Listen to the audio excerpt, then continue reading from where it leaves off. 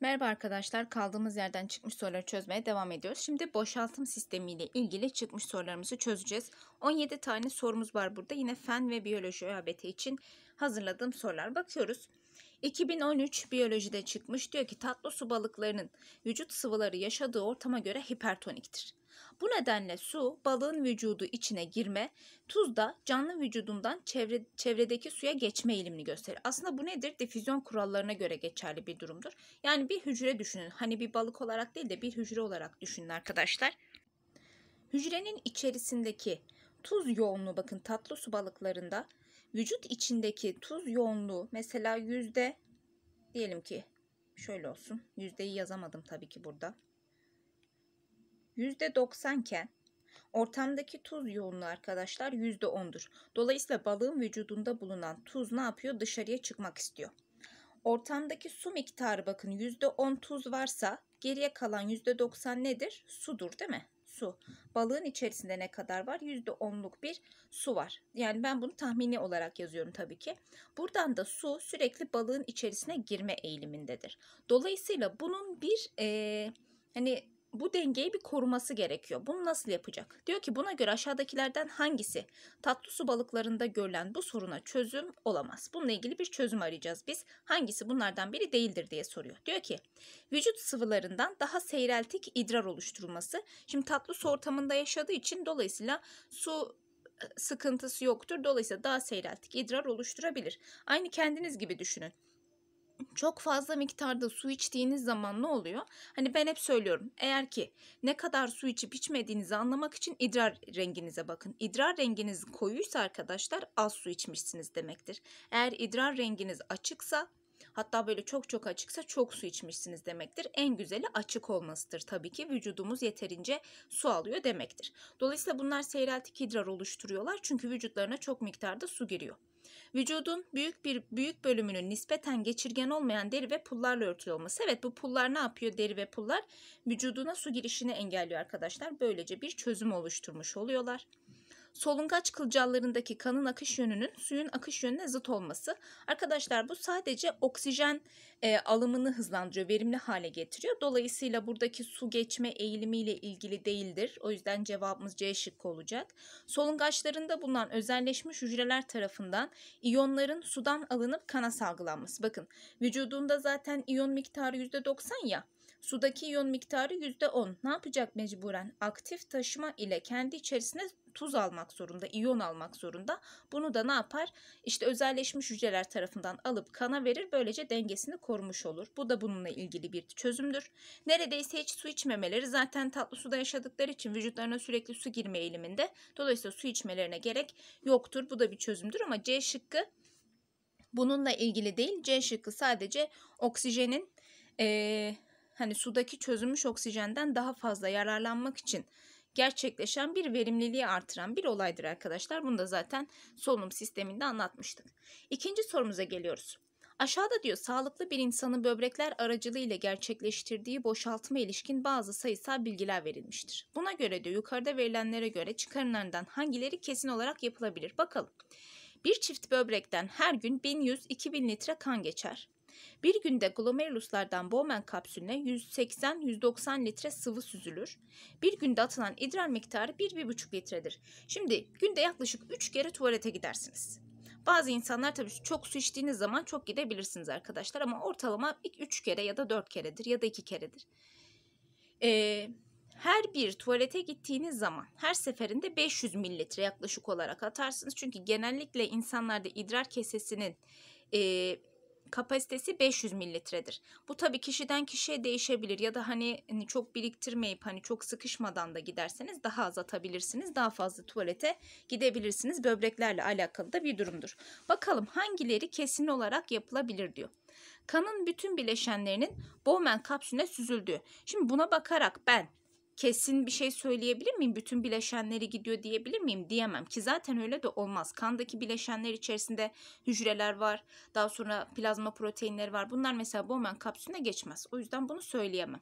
Bowman kapsülüne geçen süzüntünün %99'unun vücuda geri emildiği. Zaten baktığınız zaman 1100-2000 litre kan geçerken ne kadarı Bowman kapsülüne süzülüyor arkadaşlar? %180-190 litre sıvı süzülüyor. Peki bunun atılanı ne kadar? 1-1,5 litre. O zaman %99'u ne yapıyor? Geri emiliyor diyebiliriz. Böbrek toplar damarlarına giden kanda azotlu atıkların hiç bulunmadığı. Yine buraya bakarak bunu söyleyemem. Ayrıca zaten bu da yanlıştır. Böbrek toplar damarına giden kanda üre bulunur arkadaşlar. O yüzden bu yanlıştır. Kesin olarak yapılabilir dediği için cevabımız yalnız 2 Bursa şıkkı olacak. Üçüncü soru. İnsanda nefronda idrarın oluşturulması sürecinde olaylarından hangilerinin gerçekleşmesinde ATP enerjisine gereksinim duyulur. Şimdi süzülme, geri emilim ve salgılama demiş. Arkadaşlar süzülme şudur. Şu bizim böbreklerimizde bulunan nefronun yapısına baktığımız zaman bu bizim Bowman kapsülümüz. İçerisinde ise şöyle bir kılcal kan damarı yuvağı, yumağı vardır. Biz buna da glomerulus kılcalları diyoruz. Süzülme glomerulus kılcallarından Bowman kapsülüne doğru olur ve kan basıncından dolayı gerçekleşiyor. Bu olayda ATP harcanmaz.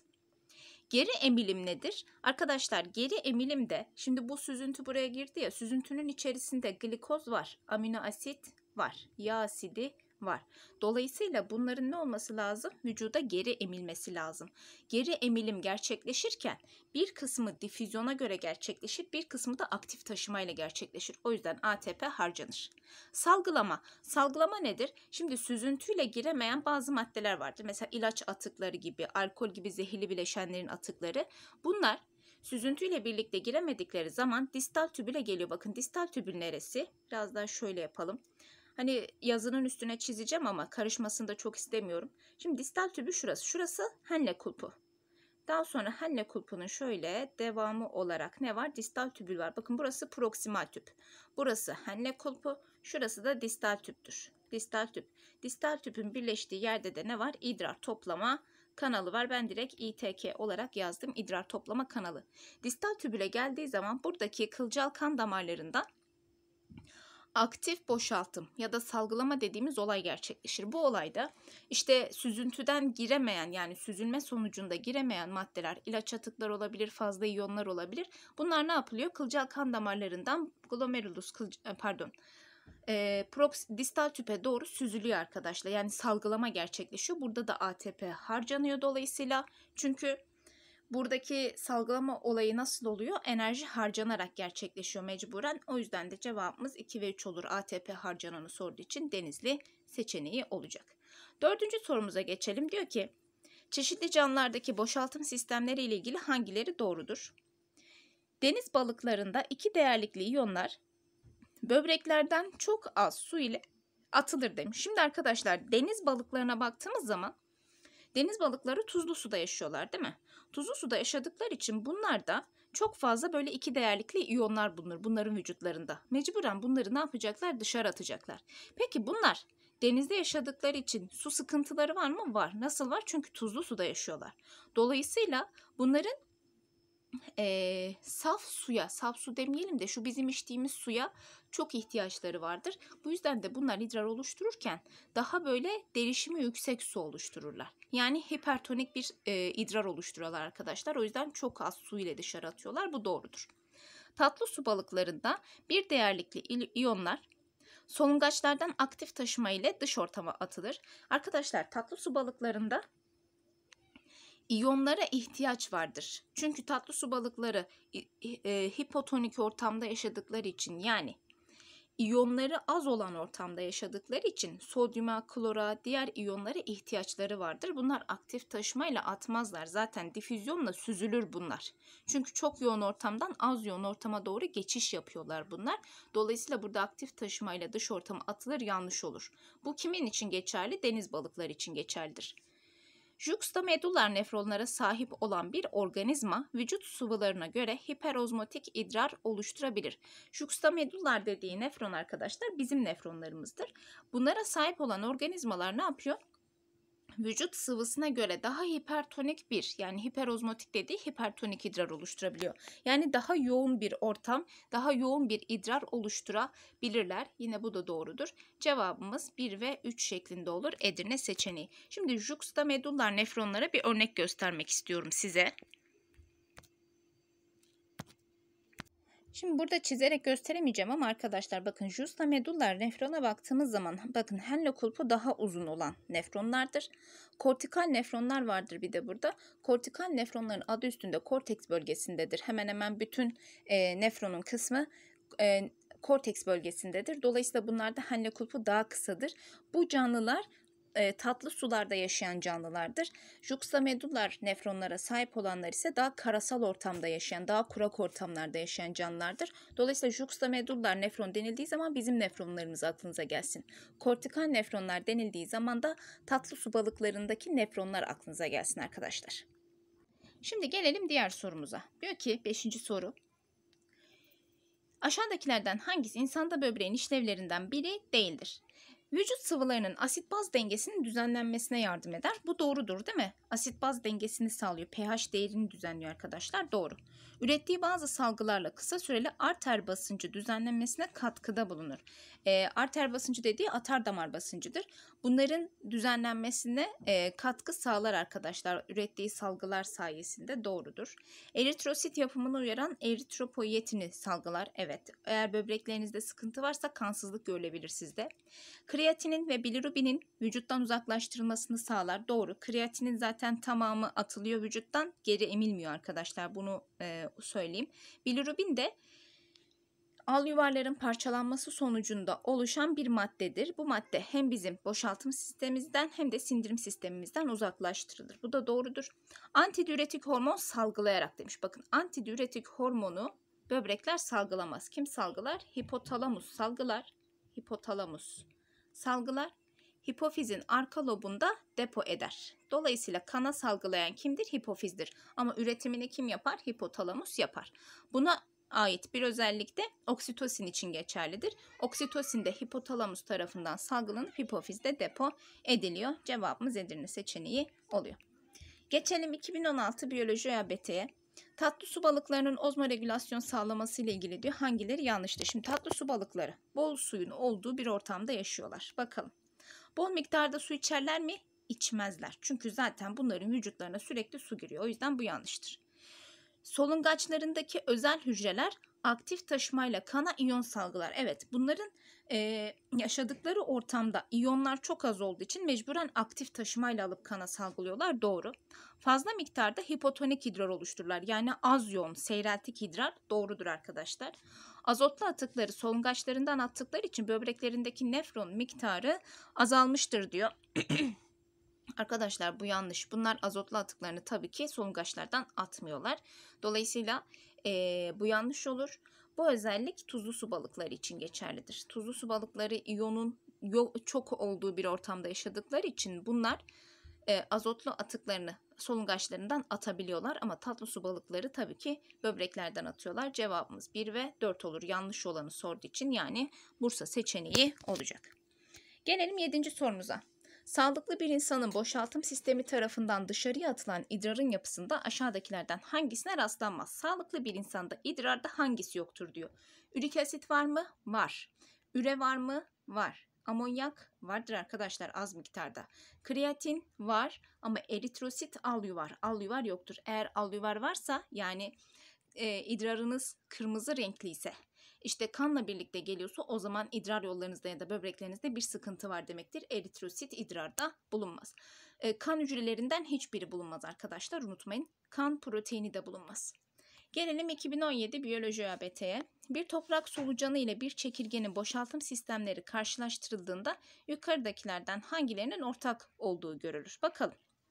Şimdi bir toprak solucanı bir de çekirge. Atılan azotlu atıkların çeşidi demiş. Arkadaşlar ee, atılan azotlu atıkların cinsi. Şimdi toprak solucanı nemli ortamlarda yaşadığı için amonyak şeklinde atar. Amonyak. Nemli ortamda yaşıyor çünkü. Ama çekirge daha kurak ortamlarda yaşadığı için üre ya da ürik asit şeklinde yani ürik asit şeklinde böcekler genellikle atıyor. Çekirge de ürik asit şeklinde atar. Bu yanlıştır. Kılcal damar ağlarıyla geri emilimin olması. Arkadaşlar kılcal damar ağları yani kapalı dolaşım sistemi toprak solucanında vardır ama çekirgede yoktur. Dolayısıyla olmaz. Bu arada e, aslında şöyle söyleyeyim. Hani tamam kılcal damarları her ikisinde de kapalı dolaşım var görülüyor ama bunlarda şöyle bir durum var. e, Malpighi tüpleriyle bunlar boşaltım yapıyorlar. Dolayısıyla bunların e, boşaltım sistemlerinde kılcal damar ağı yok. Çünkü Malpighi tüpleri ne yapıyordu? Bir açıklıkla, bir kanalla dışarıya açılıyordu. Su ve iyon dengesinin korunması zaten boşaltım sisteminin temel görevi su ve iyon dengesinin korunmasıdır. O yüzden cevabımız yalnız 3 olur. Bu ortaktır tüm canlılar için. Gelelim 2018 biyoloji. Diyor ki böbrek glomeruluslarında birim zamanda oluşan süzüntü miktarında azalma olduğunda bunu normale döndürmek için diyor hangileri gerçekleşir? Şimdi glomerulusta oluşan süzüntü miktarında azalma var. Diyor ki aferent arteriyollerin çapının daraltılması eferent pardon. Eferent ne demek? Getirici damarlar. Getirici damarın çapını, getirici damar bu arada nerede bulunuyor? Bakın şu Bowman kapsülü. Şu Bowman kapsülü. Bowman kapsülün ortasında ne vardı? Glomerulus kılcalları. Bakın atar damardan, böbrek atar damarından glomerulus kılcallarına kan getiren damar getirici atar damardır. Getirici. Kan götüren, toplar damara kan götüren damar ise arkadaşlar götürücü. Bu da şöyle götürücü atar damardır. Tamam mı? Buradan götürücü atar damardan ne yapıyor zaten? Buradaki kılcallar hemen etrafını sarıyor. Sonra da e, kılcal damarın ucu toplar damara bağlanıyor. Glomerulus kılcallarının diğer kılcallardan farkı iki tane atar damar arasında olmasıdır. Ayrıca kan basıncının da çok yüksek olmasıdır arkadaşlar. Şimdi bakıyoruz. Eğer ben getirici damarın çapını daraltırsam basınç artmaz mı? Artar. Artarsa ne olur? Süzüntü fazlalaşır. Bu olur. Böbrekten renin salgılanması. Renin, angiotensin bir de e, aldosteron. Hani bu RAS dediğimiz bir sistem vardı değil mi? Bu sistem sayesinde ne yapıyordu? Süzüntünün miktarı artılıyordu. Eğer renin salgılanırsa süzüntü miktarı artar. Böbrek üstü bezinden aldosteron salgılanmasının inhibe edilmesi. Şimdi aldosteron ne yapıyordu? Böbreklerden e, sodyum ve klorun geri emilmesini, potasyumun da dışarı atılmasını sağlıyor. Bunun süzüntüyle bilgisi yoktur arkadaşlar. İnhibe ettiğiniz zaman geri emilim durur sadece. Süzüntünün artırılmasıyla bilgisi yoktur. Dolayısıyla cevabımız C şıkkı 1 ve 2 olacak. 10. soru. Canlılarda hücre metabolizması sırasında amonyak, karbondioksit, ürik asit oluşabilir. Diyor ki bu metabolik ürünlerden hangileri başlangıçta kullanılan organik maddenin azotlu bir bileşik olduğuna işaret eder. Şimdi azotlu bir bileşik olması için ürünlerde de azot bulunması lazım. Bizim azotlu bileşiklerimiz nelerdir? Amonyak, üre ve ürik asittir ürik asit. Bir maddenin parçalanmasında eğer bunlar oluşuyorsa o zaman o maddede azot vardır diyoruz. O zaman amonyağı alıyorum. Ürik asit alıyorum ama karbondioksit zaten CO2. Bunda azot bulunmadığı için bunu almıyorum. Cevabımız 1 ve 3 Edirne seçeneği olacak. 11. sorumuz. İnsanlarda boşaltım sistemiyle ozmoregülasyon sağlanırken çeşitli hormonlar ve mekanizmalar işlev görmektedir. Bakın RAS sistemine geldi. Diyor ki Kan kayıplarında gözlendiği gibi eğer kanın ozmolaritesinde değişiklik olmaksızın böbreklerden geçen kan hacminde, kan basıncında ve oluşan süzüntü miktarında azalma olursa diyor olaylarından hangileri gerçekleşir? Hipofiz bezinden antidiüretik salınımının artması. Şimdi antidiüretik hormonu salınımını artırırsam arkadaşlar ne olacak? Antidiüretik hormon ne yapıyoruz? Böbreklerden suyun geri emilimini sağlıyor. Burada kan hacmiyle, kan basıncıyla ya da süzüntü miktarının azalmasıyla bilgisi yoktur. Su miktarını sadece geri emiyor arkadaşlar suyu. Dolayısıyla bu olmaz. Renin, angiotensin, aldosteron sisteminin çalışmaya başlaması. Bu sistem, bakın bu sistem ee, ben bu sistemin boşaltım sistemini anlatırken anlattım. Ayrıca benim geçen sene çektiğim videolarda böyle elle yazdığım bir video daha var. Bu sistemi anlamadıysanız orada lütfen e, tekrardan bir izleyin arkadaşlar RAS sistemini. Şimdi renin dediğimiz bir madde salgılanıyor. Bu madde angiotensin 1 dediğimiz işte bir enzim bir enzim sayesinde angiotensin 1'i aktif hale getiriyor. Angiotensin 1 de angiotensin 2'yi aktif hale getiriyor. Daha sonra aldosteron salgılan, salgılanıyor ve kanın hacmini artırıyorlar. Kanın basıncını artırıyorlar ve doğal olarak oluşan süzüntü miktarını da artırıyorlar. Dolayısıyla bu sistemi alırım. Kalpten atrial natriüretik peptit salgılanması. Arkadaşlar bu e, yapı, arkadaşlar bu madde kalpten salgılanıyor. Bu su, sodyum, klor gibi maddelerin e, salgılanmasıyla veya geri emilmesiyle ilgili bir maddedir. Dolayısıyla bu maddenin de yine kan hacmi, kan basıncı ile ilgisi yoktur. Cevabımız ne olur? Bursa şıkkı yalnız 2 olacak. Gelelim 12. sorumuza. İnsanda diyor organlarından hangileri azotlu bir metabolik atık olan ürenin vücuttan uzaklaştırılmasında işlev görür? Bakıyorum. Böbrek. Böbrek üreyi atıyor mu? Evet atıyor. Deri. Arkadaşlar deri de üre atar. Mesela terliyorsunuz ya e, vücudumuzdan yaklaşık %1 oranında e, üre atılır derimizde. Yani insanlar derilerinden tabii ki boşaltım yapıyorlar. Hem terleme olarak yapıyorlar. Hem de terlerken arkadaşlar hem tuz hem de üre atabiliyoruz. Dediğim gibi %1 oranında bile olsa bu vardır. Dolayısıyla deriyle üre atılır. Hatta terimizin kokmasının sebebi de bu diyorlar. Akciğer, akciğerlerden sadece karbondioksit atılır. Kalın bağırsak zaten kalın bağırsakta e, sindirim atıkları vardır. Dolayısıyla üre yoktur. Cevabımız ne olacak? 1 ve 2 şeklinde olur Bursa seçeneği. 13. sorumuz. Azotlu boşaltım maddelerinden amonyak büyüre ile ilgili hangisi yanlıştır demiş. Amonyak çoğu sucul hayvanda difüzyonla dışarı atılır. Zaten amonyak çok zehirli bir madde olduğu için mecburen sucul ortamda yaşayan canlılar tarafından atılır. Bizler kurak ortamda yaşadıklarım yaşadığımız için karasal ortamda bulunduğumuz için üre ya da ürik asite çevrilerek atılıyor. Çünkü amonyak çok zehirlidir. Bol suyla atılması lazım. Bu doğrudur.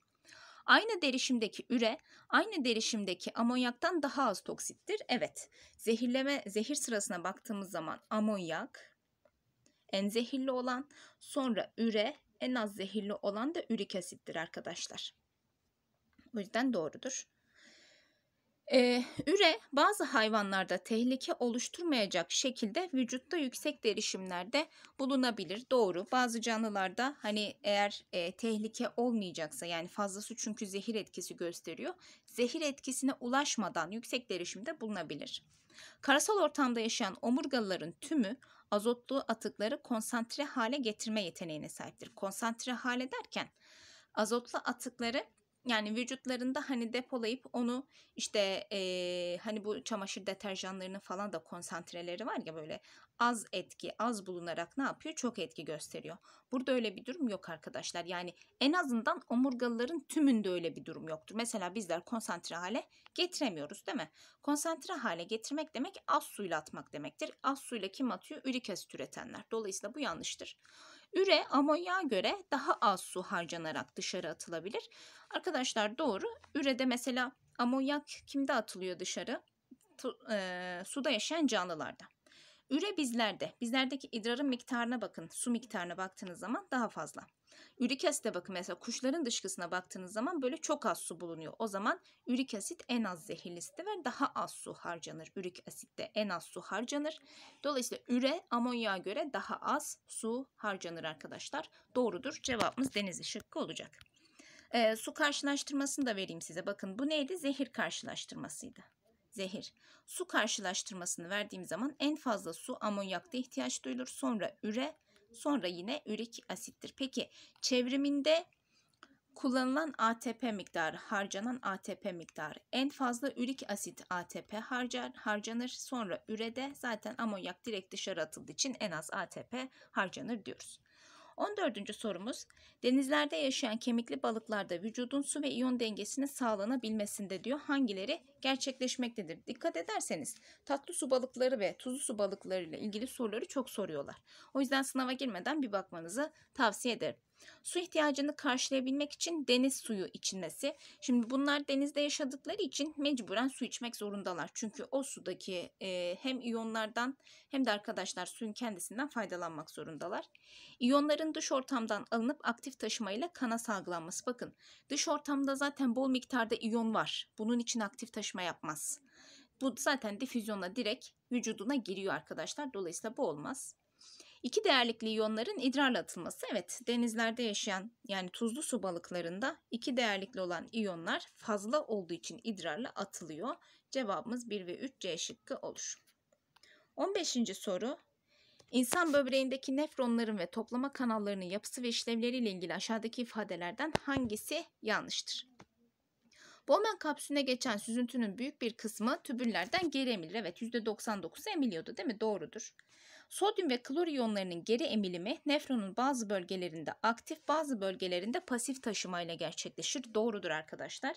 Hani miktarı azaldıkça aktif taşımayla geri emilmeye başlanıyor. Henne kulpunun aşağı inen ve yukarı çıkan kollarının suya karşı geçirgenliği birbirinden farklıdır. Doğru. Hanne'nin inen kolu suya geçirgendir, çıkan kolu suya geçirgen değildir arkadaşlar. Doğrudur. Toplama kanalındaki sıvıda yer alan ürenin bir kısmı difüzyonla tekrar doku sıvısına geçer. Şimdi ürenin bir kısmı doku sıvısına ee, geçer diyor. Hani dedik ya üre mesela emiliyor emiliyor idrar toplama kanallarına genildi, gelindiği zaman arkadaşlar yaklaşık yüzde 50 kadarı yani yarısı kadar bir kısmı tekrardan e, doku sıvısına geçebiliyor. Bowman kapsülüne geçen süzüntünün ozmolaritesi yani ozmotik basıncı diyebiliriz veya işte yoğunluğu toplama kanalından havuzcuğa geçen sıvının ozmolaritesinden daha yüksektir. Şimdi biz burada su miktarına bakacağız. Şimdi Bowman kapsülüne geçen süzüntüde diyelim ki %90 miktarında su varsa toplama kanalından havuzcuğa geçen sıvıda yani idrarda yaklaşık 10 miktarında hatta %1 miktarında diyebiliriz. Mesela diyelim ki burada 100 %100 su var tamam mı? Ya %100 su olmaz gerçi yanlış söyledim. %100 su olursa tamamen su gelmiş olur. Neyse %90 olsun. %90 su varsa arkadaşlar havuz havuzcuğa geçen sıvıda yani idrarda %10 su vardır. Çünkü suyun çok yüksek bir kısmı ne yapıyor? Emiliyor. %99'luk bir kısmı emiliyor. O yüzden bu yanlış olur. Yüksek değil daha düşüktür. 16. soru. Yine tatlı su balıkları ile ilgili gelmiş. Tatlı su balıklarında ozmo regülasyonu sağlanması ile ilgili aşağıdaki ifadelerden hangisi yanlıştır? Solungaçlarından aktif taşımayla sodyum ve klor iyonlarını alırlar. Evet, e, hipotonik ortamda yaşadıkları için aktif taşımayla alıyorlar. Hemen hemen hiç su içmezler. Doğru zaten suyun bol olduğu yerde yaşıyorlar solungaçlarından su kaybederler demiş. Arkadaşlar solungaçlarından su kaybetmiyorlar. Solungaçlardan zaten sürekli su girişi oluyor. Bunlar idrarla atıyorlar. Dolayısıyla bu yanlıştır. Seyreltik idrar oluşturuyorlar. Evet. Mukus içeren derileri su girişini kısmen engeller. Bu da doğrudur. Cevabımız C şıkkı şeklinde olacak. 17. soru. Çeşitli hayvan gruplarının boşaltım sistemleri ile ilgili hangisi yanlıştır? Bakalım. Diyor ki halkalı solucanlardaki metanefridyumlarda hem salgılama hem de kana geri emilim olayları görülür. Doğrudur arkadaşlar halkalı solucanlarda yani bizim bildiğimiz toprak solucanında metanefridyumlar vardır. Buralarda hem salgılama vardır hem de geri emilim vardır. Yani bizdeki gibi.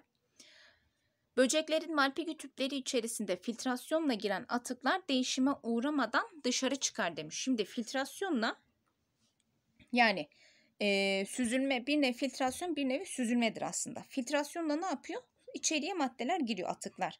Peki bu atıklar geri emilim olmadan mı yani değişime uğramadan direkt atılır mı? Hiçbir canlıda bu olmaz. Bakın ister böbrek olsun, ister marpigü tüpü olsun, ister ne olursa olsun, hangi nefridyum olursa olsun fark etmez. Mutlaka geri emilim gerçekleşir arkadaşlar. O yüzden bu yanlıştır. İnsanda böbrek nefronlarının distal tübülleri pH düzenlenmesine katkı sağlar.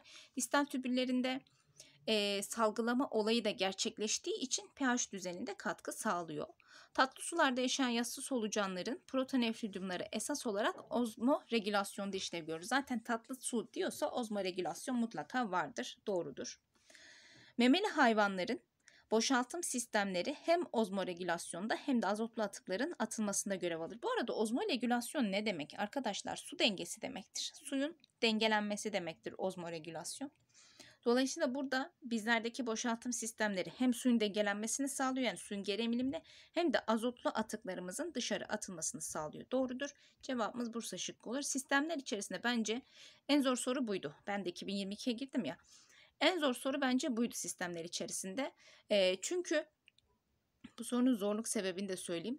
Hem metanefridyumu bilmek zorundasınız. Hem e, memeli hayvanlardaki böbrekleri bilmek zorundasınız. Hem malpigü tüplerini yani boşaltım sistemlerinin tamamı ile ilgili bir bilgi sahibi olmak zorundasınız.